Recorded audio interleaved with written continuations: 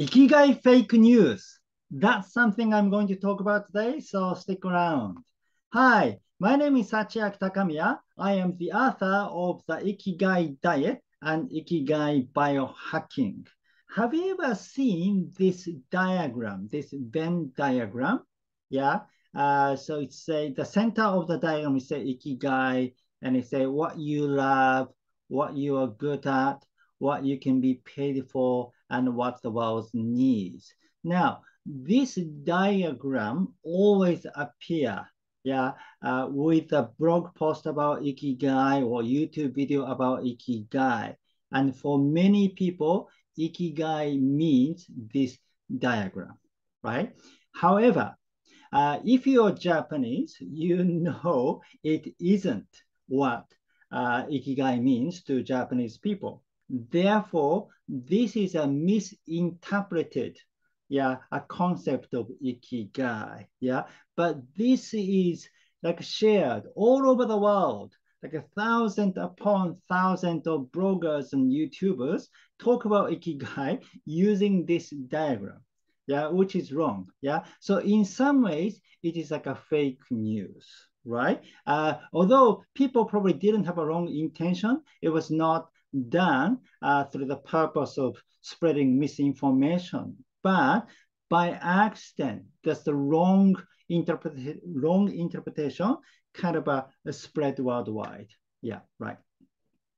Um, and then when I actually saw this diagram, I felt it was strange and I felt very puzzled because it didn't really represent the Japanese me meaning of ikigai. However, I wasn't sure because maybe it is possible, uh, like some Japanese psychologists, you know, came up with this new concept of ikigai or something. Just did, I just didn't know. Yeah, but now uh, we know that it is not true. I mean, this diagram was made by mistake. Yeah.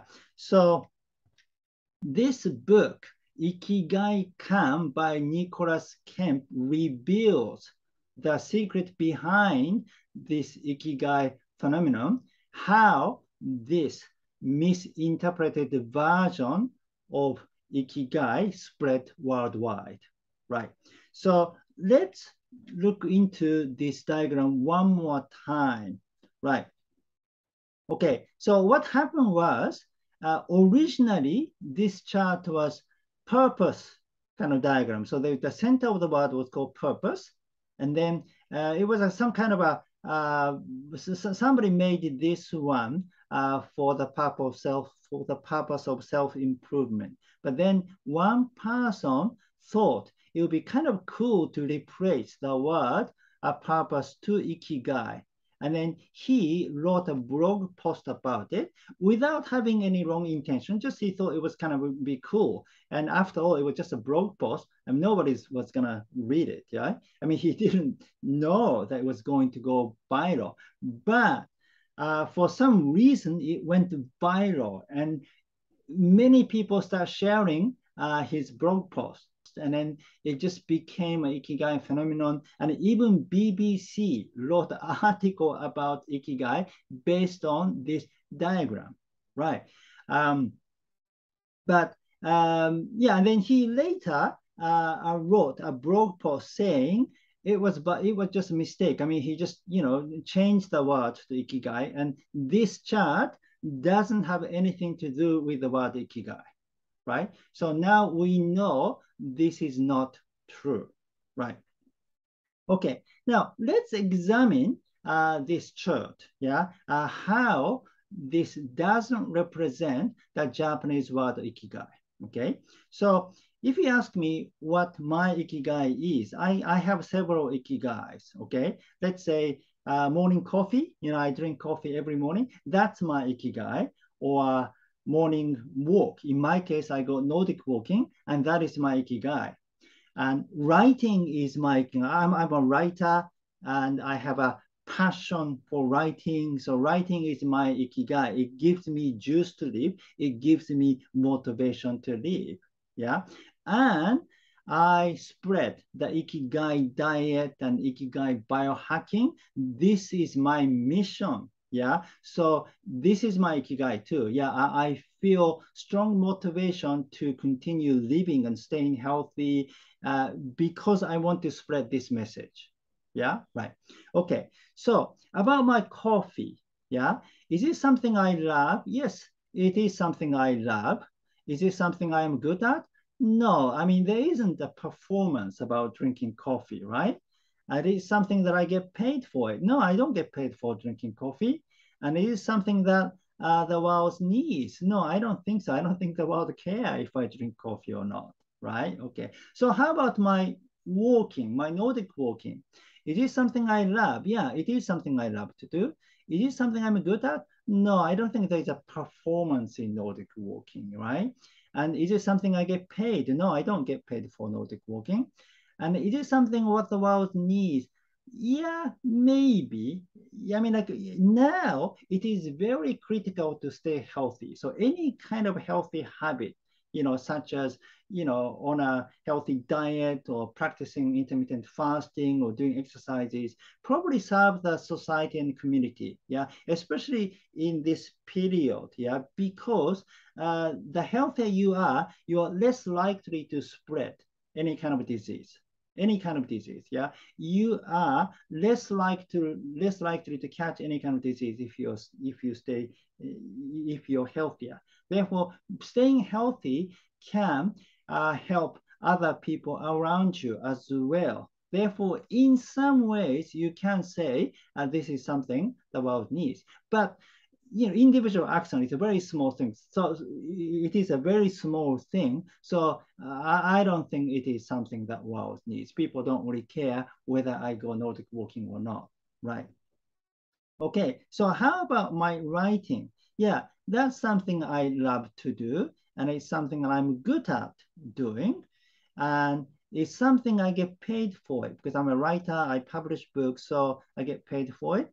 And then that's something the world needs. Yeah, I, I'd like to think so. Uh, I'd like to think that uh, my the content I write uh, serve uh, the community and the world, right? And how about spreading the Ikigai diet and Ikigai biohacking? That's something I love to do. And that is something I am good at. Now, uh, because I'm Japanese, I am introducing the Japanese concept or the kind of a way of thinking based on Japanese natural health, uh, which uh, you wouldn't probably know if you're not Japanese. So by being Japanese, I, I, I have access to this information. And then I speak English. Therefore, I get to spread this con this content uh, in English. Yeah, I'm, I'm, I'm probably one of the few Japanese people who write books in English or, you know, uh, make YouTube videos in English. So in that sense, I can say it is my field of expertise, right? And I get paid for it. Uh, and also, uh, I think, again, I'd like to think this is something the world needs, right? So for writing and spreading the Ikigai diet and Ikigai biohacking, yeah, I think those two can, uh, uh, this chart can apply to those two. However, walking and morning coffee, no, this diagram doesn't apply. One thing uh, apply to all four Ikigais, that is what you love, yeah? Uh, I, I love coffee, I love walking, I love writing, I love spreading the Ikigai diet and Ikigai biohacking. So does it mean what you love is the requirement of Ikigai? Not necessarily, because there are times when you go through some tragic experiences or some kind of a uh, difficult times, right? And then some time you have none of those. You know you cannot do anything you love to do. The life is basically pain and struggle. But even out of those situations you try to find your ikigai. The good example is uh, during the war period. Yeah people who uh, spend their life uh, in a war. Yeah there's so much suffering. Yeah but somehow they found a meaning in their life. They found their ikigai. And that is uh, for example, even though this painful experience can be your learning, the learning for your soul, or because you have this tragic experience, you can tell the story to later generation so that they will not repeat yeah, uh, this tragedy again. So that can become your ikigai, the source of motivation to carry on, right? So, but that is not something you love or something you're good at or anything. Uh, therefore, if you are thinking of ikigai with this chart, yeah, it, it is very difficult. Yeah, yeah. So you do need to learn what ikigai truly mean in Japanese, right? Now, what about ikigai is an Okinawan concept? That another misinterpretation spread worldwide, right? So in Dan Buettner's TED Talk, yeah, I think he talks about uh, Ikigai is an Okinawan concept, and then this is a secret to longevity there. And then it kind of spread all over the world. And many people think Ikigai is an Okinawan word, but it is a Japanese word. It is a shared concept throughout Japan, regardless of your uh, region in Japan. Yeah, uh, people have ikigai in Nagano, in Shiga, in Tokyo, Osaka, as well as the people in Okinawa. So it isn't unique to Okinawa, right? And I don't blame Dan Buettner for it either, you know, because you know you cannot know everything. I mean, it's impossible to you know understand every single information in detail. Yeah, like I've written a, a novel, yeah, uh, which has seven characters representing, you know, different race and culture, and then 11 countries appear uh, in the story, yeah. Although I checked, yeah, a lot of the information in the area and so on, still, uh, I always miss. I mean, it, it, it's almost impossible to cover every single thing. I mean, like I did use, for example, names for each seven characters, and uh, the name does exist in that culture. But I mean, if you examine in detail, if the background information of that character uh, matches the name or not, that's something I don't understand. For example, I used uh, a Pelvian shaman, you know, Michaela Mamane, but you know, I, I wouldn't know about Pelvian culture in detail to, to know that. So it is possible to miss, you know, a certain detailed information. So I'm, I'm not saying, you know, it was a problem or anything like that. Yeah. So it just, uh, uh, it sometimes happens when you cover a vast uh, area uh, in your book. And it's not a mistake because yeah, people in Okinawa does have a do have a ikigai. Yeah, so you can say ikigai is an Okinawan concept, but it isn't unique to Okinawa. Yeah, but it's just like saying American dream, Californian dream. You know, how would you feel if someone start talking about Californian dream? You, you know, in California, there is this uh, a special concept where anyone can succeed if you put a lot of energy into it, regardless of your background or education. You don't need to be born rich. You don't need to go to university or anything. If you have a great idea and if you put a lot of work into it, anyone can succeed. That is called the Californian dream. Well, it can be true. I mean, probably, I'm sure there are such a concept in California. It's first, in fact, California is one of the few places within the United States uh, which has a, a lot of entrepreneur spirit. Yeah, therefore it isn't wrong. However, how would you feel if you live in Texas or if you're from New York? Well, we have that too. It's not unique to Californians, yeah, and that's called American dream. Right. Therefore, the correct way to understand this is American dream, not a Californian dream, right? So when you say ikigai is an Okinawan concept, it just uh, makes Japanese feel like uh, Texans and New Yorkers about Californian dream. And is ikigai a secret to longevity? So many people associate ikigai as a secret to longevity, and it is from Okinawa, um, which is not wrong. I mean, it, it is a it is one of, one of secrets to longevity. However, I don't think uh, ikigai was considered to be a secret to longevity before Dan Buettner's talk. Yeah, maybe there was this kind of concept, but I'm not sure. I mean, now it is. Now, even in Japan, uh, ikigai is often considered to be one of the factors of longevity. But I think it is in influenced by Dan Buettner's talk and his book. I think after that, some Japanese researchers included ikigai to be part of longevity factors. Yeah, I, am not really sure, but ikigai is not a big word. It, not, not many people made a big deal about it. it it's not, you know, it's, something people just use in everyday life, and it's not a special concept or anything in Japan. Yeah, but now, as I said, it is a very important uh, part of uh, longevity culture. Um, so I made a video about Nagano. Nagano is uh, Nagano is the longest lived prefecture in Japan at the moment. Yeah. And I made a video called Seven Longevity Secrets of Nagano, the King of Japanese Blue Zones. And one of the secrets is Ikigai, I said, because Nagano has the highest number of community centers.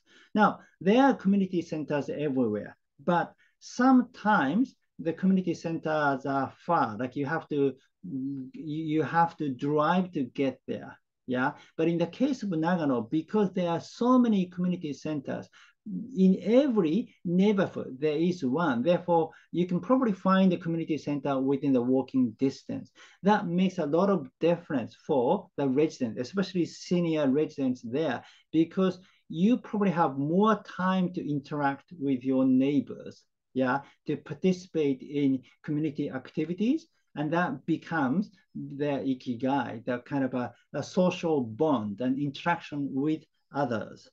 And Nagano had the highest number of working seniors too. Now, for many people, work is your ikigai, right? So once you stop working after retirement, uh, many people lose their ikigai.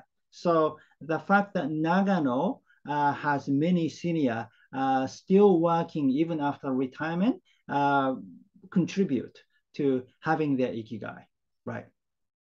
Therefore, ikigai is, is uh, important factor of longevity in Japan too. However, Ikigai has diverse meanings and nuances. It isn't limited to the secret to longevity. Yeah. So therefore, to understand it fully, uh, yeah, you, you need to understand other meanings of Ikigai too. Now, none of the people who spread the concept had the wrong intention yeah, it was accident by this internet culture. Yeah, I think people who spread the concept didn't check the source, and therefore uh, it, it is a common thing now about the fake news, isn't it? Yeah, if someone shared the news on Facebook and you think, oh, this is a great news, and you kind of spread, you share the message, yeah, with a good intention because you think this news will probably help you know, other people and so on. And then, um, yeah, you didn't realize it was a mistake and so on, right? And also, it is difficult to check the source if you didn't understand Japanese.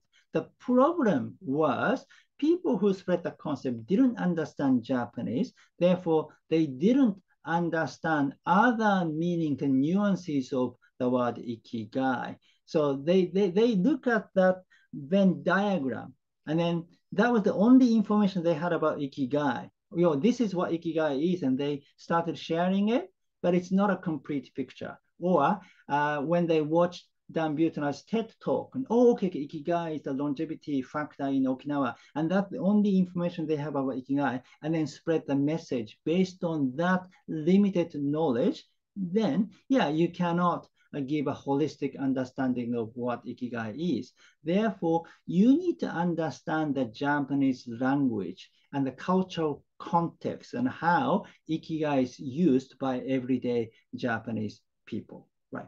So next time, please, yeah, check with a Japanese person about ikigai. However, regular Japanese people don't even understand what ikigai means. I mean, we, we use the word in our so if you ask them like you know what is your ikigai? People can probably say okay coffee is my ikigai or you know spending time with my grandchildren is my ikigai and so on. But to explain the meaning of ikigai most people probably cannot. Yeah. But there are experts in japan like japanese researchers who uh, wrote many books about ikigai and they can explain the meaning of ikigai yeah. So to source the information, you need to go to the Japanese researchers, right? Uh, for example, uh, Ikigai ni tsuite by Kamiya Mieko. Yeah. So she's Mieko Kamiya, uh, who is the author of Ikigai ni tsuite, which means about Ikigai. Yeah, uh, is the author, authority in the field of Ikigai studies. Yeah, this book is almost like a Bible in Ikigai research. So every Japanese Ikigai researcher um, makes a reference uh, on this book when they talk about Ikigai. Yeah, so to fully understand about Ikigai, you need to read this book. But unfortunately, the book is not translated into English, therefore you cannot read it. But now, Nicholas Kemp in Ikigai Kan introduced, introduced yeah, uh, Ikigai ni tsuite, yeah, very much in detail. Yeah, so I mean, it's different from reading the original, but you get the idea of what Mieko Kamiya was trying to say yeah? And not only Mieko Kamiya's research yeah he, he basically interviewed many japanese researchers and other people about ikigai. So it is a comprehensive book about uh, how the regular japanese people uh, use the word ikigai to how ikigai is researched in japan and how it can be interpreted to the Western con con context and so on. So it is one of the most comprehensive books written about Ikigai, and I think it is the most comprehensive book written about Ikigai in English. Okay, so that's it for today. Thank you for watching. Again, my name is Sachiaki Takamiya. I am the author of the Ikigai Diet and Ikigai Biohacking. Right. So if you want to know uh, the optimal way to activate autophagy and feed your diverse gut microbiome, please read the Ikigai diet. And if you want to know a method to naturally biohack yourself, please read Ikigai Biohacking. And if you like this video, please give me your thumb up and subscribe to my channel. I'll see you in the next video. Live with your Ikigai.